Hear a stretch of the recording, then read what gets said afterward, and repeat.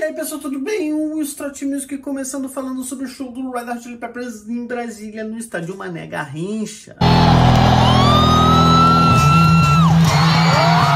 Vou falar basicamente do repertório, porque não teve muitas coisas, parece que os Chili Peppers saíram do Rio de Janeiro do hotel direto para Brasília para fazer o show e era isso. Mas o repertório muito interessante com coisas legais adicionadas e algumas retiradas, pessoas felizes e pessoas tristes. Aquela coisa de sempre que acontece todo show, as pessoas ficam se mordendo por causa do repertório do seu amigo vizinho ou do estado, ou seja lá da onde for, essa porra de pessoa aí que tá reclamando. Então, se você gosta minimamente desse assunto, já dá um like aqui, se inscreve no canal, ative o sininho das notificações. Tem algumas coisas legais aqui embaixo, então olha aqui, fone de ouvido e uma caralhada de coisas legais aqui. Não esqueça de dar o like, faz tudo isso. Se quiser fazer qualquer contribuição, tem meu Pix aqui embaixo. Então, sem mais enrolação, vamos lá.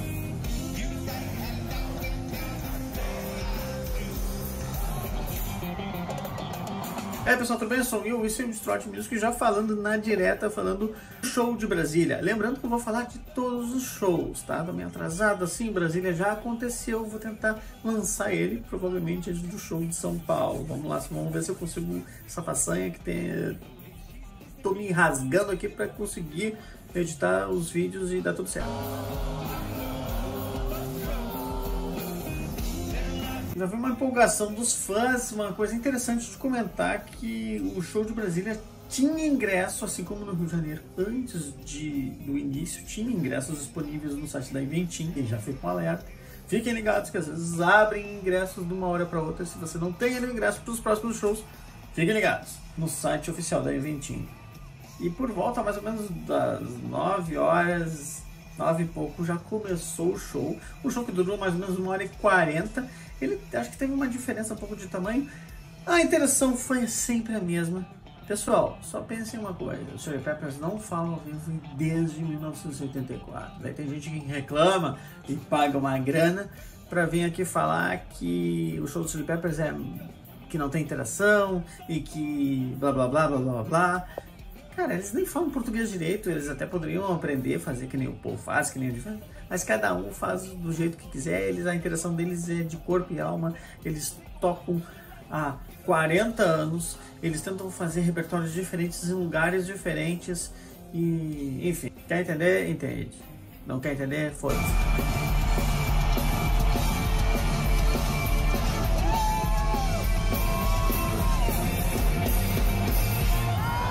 Já, já começando com o repertório. Muitas pessoas acham que eles fazem assim, Can't Stop num lugar, depois Around the World no outro. Só que o que acontece? Às vezes eles tocam mais vezes Can't Stop do Around the World, que é uma música que é um pouco mais hit do que o outro. Acho uma besteira essa coisa de hit. Acho que quem tá no show dos Chili Peppers tem que ouvir o que for, né? Que seja deles, obviamente. Mas se for cover, pode ser Jimi Hendrix, pode ser hip hop, enfim, coisas que eles realmente tocam. Na verdade, eles podem tocar o que eles quiserem, porque é fã da banda, cara. E muita gente acabou reclamando disso, porque o show começa com Around the World. Agora falando a música que abre o disco Californication, uma música excelente, um ótimo início de show e sensacional. Depois eles tocam Scar aí, duas músicas que fazem parte do disco Californication. Depois Danny California. Muita gente chiou que não teve Danny California no Rio. Aí tá aí a música aí pra vocês. Estão felizes agora? Depois Universally Speaking. Universally Speaking, uma música do disco By The Way, sensacional. Uma música que tem uma energia muito legal. Entrou, se eu não me engano, no show da Costa Rica, do último assim que entrou. Muito bom. Aquatic Mountains, que é a música que eles têm tocado muito do disco Limited Love. Eu acho sensacional. Tem muita gente que chia, mas na realidade eu acho que essas pessoas não conhecem o que é Red Hot Chili Peppers. Porque o Red Hot Chili Peppers é isso aí. É, realmente é isso aí. Tá bom? Continuando, Soul Squeeze entrando no set list. Uma música que agora deixa eu só lembrar aqui que eles tocaram. Tocaram no show do Rio de Janeiro, se eu não me engano, eles tocaram. Soul Squeeze, me corrija se você se eu, me corrija se eu tiver errado, mas uma música excelente, a música que não entrou no Blood Sugar Sex Magic e tá aqui ela, I Like Dirt. Eles não tocaram Right on Time, tocaram I Like Dirt. Sensacional. A variação é uma coisa incrível. Eu gosto das duas músicas igual. Tanto uma quanto outra, mas como é legal isso, porque daí a gente é surpreendido, senão tu fica, vai no show, todo show são igual, tem as mesmas músicas sempre, porra. Aí começa a ficar sem graça, né? Então, I Like entrou aqui, uma música muito pra frente e tem muito daquele Chili Peppers raiz ali. Pois White Sand, uma grande surpresa, uma música do Stage Arcade, uma segunda música do Stage Arcade, pelo que eu estou vendo aqui no repertório, agora do início do show sensacional Wet Sand. Tem um refrão belíssimo, um grito belíssimo, enfim, coisas muito legais.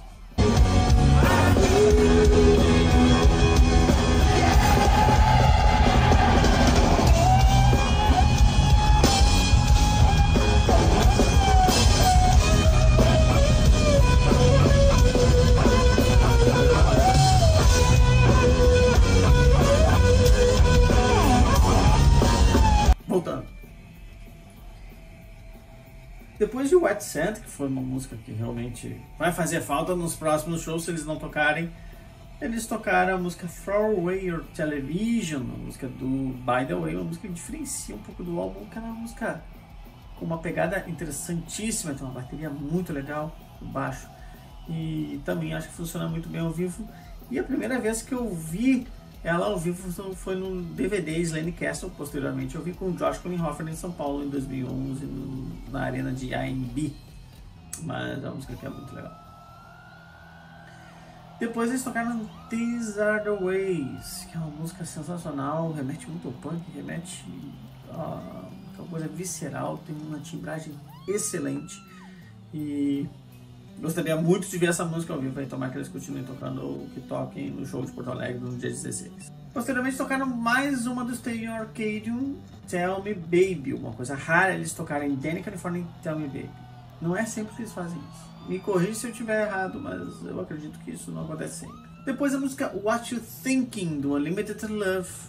Sensacional, ela tem um verso incrível, uma letra extensa pra cacete e ao mesmo tempo um baixo chatinho de tocar, muito legal. Ela tem uma marcação muito boa, tem um solo incrível. É uma música que não tem back vocal, uma curiosidade. E é sensacional, ela é perfeita e fica muito legal ao vivo. Outra música muito interessante aí que eles tocaram e que gostaria de ver também. Depois tem uma música apagada ali, eles tocam Californication. Tocaram Californication, que é a música que está sempre em todos os shows dos Chili Peppers, Californication. Black Summer, que é a música hit do disco Unlimited Love. E para encerrar a primeira parte, By the Way. Eles tocaram By the Way para encerrar, que eles já têm feito muito tempo.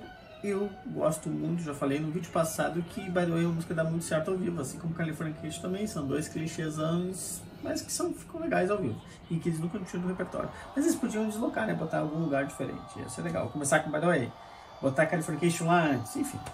Mas, mas tudo bem, é uma coisa aceitável. Mas poderia mudar. Essa é a minha opinião só. E depois no Bis, aqui tá escrito Under the Bridge Giveaway, mas eles não tocaram Under the Bridge. Aí tem uma coisa sensacional que é uma surpresa. Porque daí Bis, ah, Under the Bridge Giveaway, tocaram I Could Have a Lie. Daí um monte de gente deve ter chorado. Mas cara, essa música é linda, maravilhosa e você foi premiado com essa música. Pense nisso antes de botar tua cabeça no travesseiro e ficar reclamando feito uma pessoa que não sabe aproveitar as coisas boas da vida.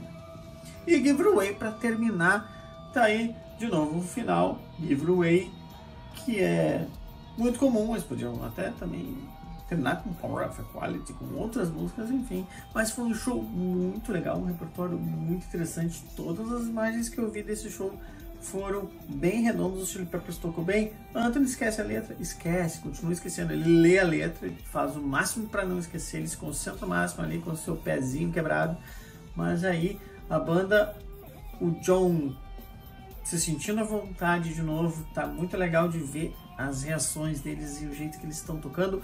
Outro comentário é que o Chad Smith, quando tocou o solo de bateria, parecia que ele estava tocando a música Magic Johnson do disco Mother's esse é um comentário que eu tenho. Fale aqui nos comentários se você viu o show, se você estava lá, se você gostou, se você tem uma reclamação para fazer. E se você vai em algum show aqui pra frente, fale o que você quiser, desde que seja de uma forma humana e não idiota. Muito obrigado por assistir o vídeo até agora. Não esqueça de dar um like, ativar o sininho das notificações. Olha meus produtos que tem aqui embaixo do Amazon. Se quiser fazer qualquer contribuição, vai ser muito bem-vindo. Tem meu Pix aqui embaixo. Então, nos vemos na próxima. Falou!